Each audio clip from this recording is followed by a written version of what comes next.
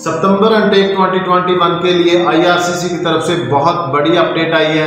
जिन बच्चों ने अपनी फ़ाइल सितंबर अनटेक के लिए फ्रेश फ़ाइल लॉन्च करनी है फिफ्टींथ मई से पहले या फिफ्टींथ मई तक जितनी भी फ़ाइल लॉन्च होगी सितंबर अनटेक 2021 के लिए, उनका result six August meaning first week of अगस्त तक देखने को मिल सकता है। ये बहुत बड़ी अनाउंसमेंट है क्योंकि बच्चों में बहुत बड़ा कंफ्यूजन बना हुआ था।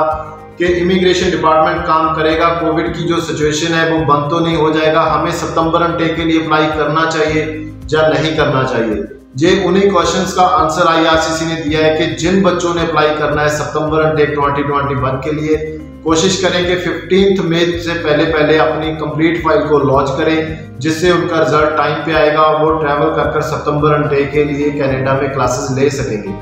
अगर किसी कारण आपका फ़ाइल लेट हो जाता है फिफ्टींथ मई से तो भी आपके पास ऑप्शन है तो आपका रिज़ल्ट कोशिश करेंगे कि सितंबर अंडेक से स्टार्ट होने से पहले आपको मिल जाए। तो ये बहुत बड़ा गुड न्यूज़ है। आईआरसीसी की तरफ़ से जो नया अपडेट आया है, इससे बच्चों में जो एक ट्रेंड बनेगा, बहुत पॉजिटिव ट्रेंड बनेगा, क्योंकि बच्चे थोड़ा कंफ्यूज हो चुके थे कि हमें फ़ाइल लॉन्च करनी चाहिए या नहीं करनी चाहिए।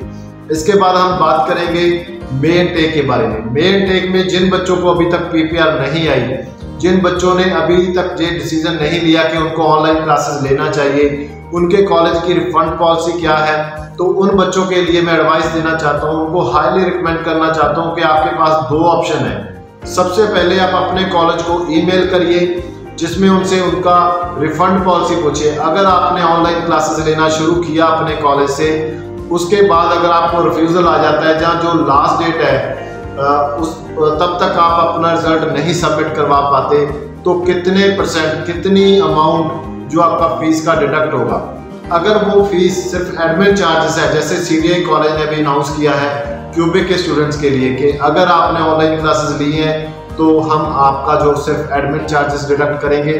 फिर चाहे आपके दो दो सेमेस्टर भी कंप्लीट हो चुके हैं, तभी भी हम आपका कोई भी अलग से फ़ीस डिडक्ट नहीं करेंगे।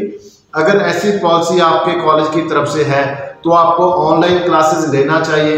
अगर ऐसी पॉलिसी नहीं है तो आप अपना टेक मेन टेक से डेफरेंट सितंबर डे के लिए अपना लास्ट डेट ऑफ़ डेफरमेंट अपने कॉलेज की चेक कर लीजिए। वेट करिए। अगर आपका सेम डेट से पहले रिज़ल्ट आने की उम्मीद नहीं है तो आप अपना जो इंटेक है उसको डेफर कर सकते हो। अदरवाइज़ क्या होगा कि अगर सेम कोर्स सितंबर इंटेक में फेल हो गया तो आपका सितंबर इंटेक भी पॉसिबल नहीं होगा। आपको जैन 2022 तक जाना पड़ सकता है। जो उन बच्चों के लिए अपडेट थी, इसके बाद बच्चों के क्वेश्चन थे कि बायोमेट्रिक अभी स्टार्ट है, जहाँ ऑफ़ हो चुका है। बहुत सारे पी सेंटर्स क्लोज हो चुके हैं। बायोमेट्रिक ऑलमोस्ट एक बार उन्होंने होल्ड पे रख लिया है। पासपोर्ट सबमिशन का जो प्रोसेस था, उसको भी होल्ड पे कर दिया है। जब तक कोविड की सिचुएशन कंट्रोल में नहीं आएगी तो ये दोनों जो सर्विसेज़ हैं, वो बंद रहेंगी। इसके बाद अगर हम बात करें जो ये प्रोसेस है एसडीएस और नॉन एसडीएस के लिए सेम रहेगा। ये बच्चों का क्वेश्चन था एसडीएस और नॉन एसडीएस के लिए उन्होंने कोई डिस्क्राइब नहीं किया कि ये जो प्रोसेस का जो टाइम है, अगर आप फिफ्टींथ मई से पहले फ़ाइल लॉन्च करते हो कंप्लीट तो उसमें एस डी एस और नॉन एस डी एस को उन्होंने क्लियर नहीं किया। मगर आप मानिए कि अगर आपका एस डी एस या non S D S file है तो भी आप फिफ्टींथ मई से पहले पहले अपनी फ़ाइल लॉन्च करने की कोशिश करिए। उम्मीद करता हूँ ये वीडियो आपको अच्छा लगा होगा। कोविड के कारण सभी ऑफ़िस बंद है। आप हमारी टीम के साथ ऑनलाइन वीडियो कॉलिंग के ज़रिए बात कर सकते हो। जिन बच्चों की फ़ाइल हमारे थ्रू प्रोसेस हुई है, उनका प्रोसेसिंग है, वो कंटिन्यू है वर्क फ्रॉम होम हमारी पूरी टीम काम कर रही है। आपको वरी करने की ज़रूरत नहीं है, आपका फ़ाइल पे काम हो रहा है और डेली बेसिस पे जो फ़ाइल है वो लॉन्च की जा रही है। इसके बाद जो बच्चे फ्रेश फ़ाइल हमारे साथ अप्लाई करना चाहते हैं, वो बच्चे नीचे दिए गए नंबर पे अपनी फ़ाइल हमें शेयर कर सकते हैं। उनका भी पूरा जो काउंसलिंग का प्रोसेस रहेगा फ़ाइल सबमिशन का जो प्रोसेस रहेगा, वो ऑनलाइन होगा, उनको विज़िट करने की ज़रूरत नहीं है। इमिग्रेशन डिपार्टमेंट ने कनाडा के इमिग्रेशन डिपार्टमेंट डिपार्टमेंट ने भी इसी चीज़ को अनाउंस किया है कि जो कोविड के दौरान जो लॉकडाउन है, उसमें उनका इमिग्रेशन डिपार्टमेंट लिमिटेड स्टाफ के साथ काम करता रहेगा।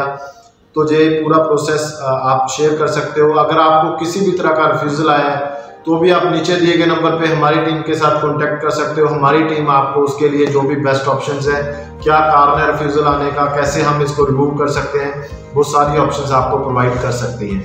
उम्मीद करता हूँ ये वीडियो आपको अच्छा लगा होगा। इसको ज़्यादा से ज़्यादा शेयर करें और हमारे इस यूट्यूब चैनल को सब्सक्राइब ज़रूर कर दें। Thank you so much